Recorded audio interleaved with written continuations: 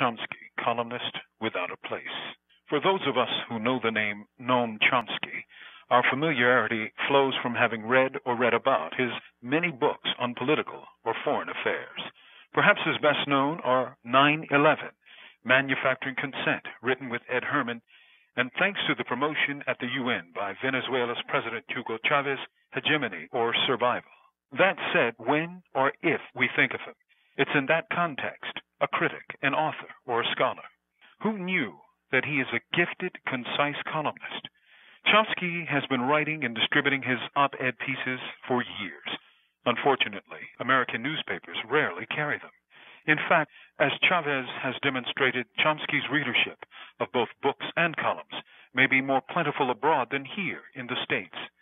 That may change with the publication of his newest book, a collection of his columns called Interventions. Interventions offers over 40 of Chomsky's columns insightful, crisp, and well researched pieces on news events of the day.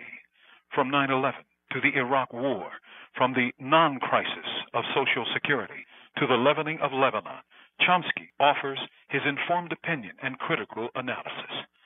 The real kicker is why is it easier to read him in Mexico's La Jornada National Daily or Britain's Guardian than, say, the Washington Post? Or the New York Times. The reasons are simple and undeniable.